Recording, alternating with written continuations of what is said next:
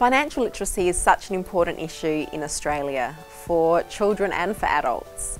At Rise High Financial Solutions, we believe it's important for children to learn about financial literacy and money management from a young age now more than ever before where we've got invisible money and we go to the ATM machine to get our money out or we just flash our card, it's a lot more difficult for children to understand the value of money. So teaching children financial literacy and better money management skills is an absolutely essential life skill that every Australian child needs.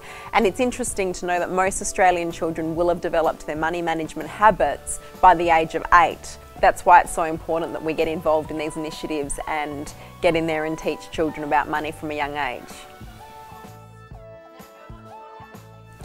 Running the financial literacy sessions at schools is a lot of fun.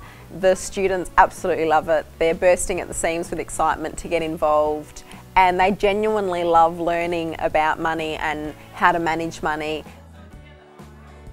Any opportunity for students to be able to talk about money um, and learn and develop their, their skills and understanding um, is going to be beneficial, uh, especially in a primary setting. This is the second year we've been running um, in conjunction with Rise High Financial Solutions um, and come in and we got uh, incredible benefit um, from our first year, which was last year, 2016.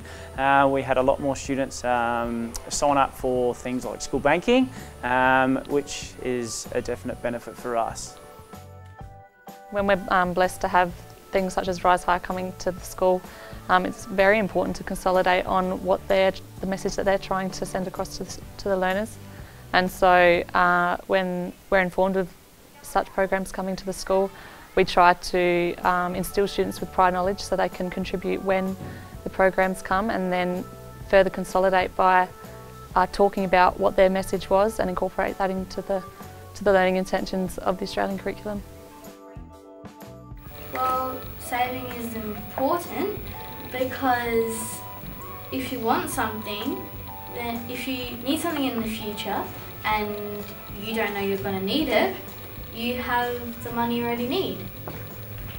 I like the bit when we did needs and wants, so I don't really need what I want all the time. Well, I want to learn more about money because maybe in the future if I own a business, then I know how to properly properly control the money and I can keep the business going.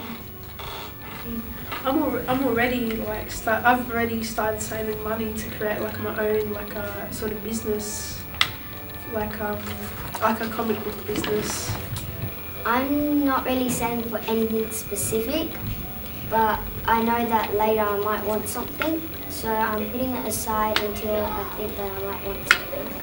Most people think this is not really the best thing to spend money on, but I want to spend it on like collectibles and stuff. Yeah, I'm saving for a couple of things. I'm saving for like games and some toys and stuff like that. I think financial literacy is extremely important in the classroom because not only are we teaching uh, what money is to children, but we're actually talking about what decisions they're going to be making with that money. And so that instills a sense of responsibility and, um, and money knowledge. So the children need to know how much they've got left, the change that they need to use and, and how much um, things are, their value. I think because of today I will know how to save better because I learned how, what you need and what you want and I learned that you should take care of your money and keep it safe until you need to use it.